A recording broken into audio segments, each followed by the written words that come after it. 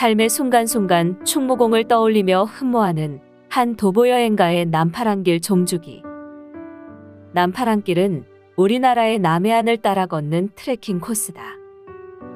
부산 오륙도에서 해남 땅끝 마을까지 1470km의 남파랑길에는 충무공의 얼이 서려 있다. 남파랑길의 총 90개 세부 코스 중 1에서 47코스인 부산과 경남 구간 48에서 90코스인 전남 구간. 각 코스마다 김명돌 저자가 소개하는 충무공의 일화와 우리의 역사와 삶에 대한 이야기. 때론 추위가, 때론 눈비가 가로막을지라도 꿋꿋이 두 다리로 걷는 길 위에서 다시금 삶을 배운다. 남파랑길 도보여행, 그 길 곳곳에는 평생에 걸쳐 본받고자 노력했던 충무공 이순신의 정신과 발자취가 서려 있었다.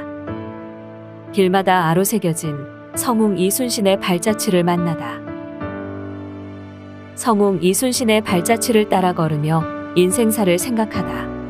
국내 출판사의 충무공과 함께 걷는 남파랑길 이야기였습니다.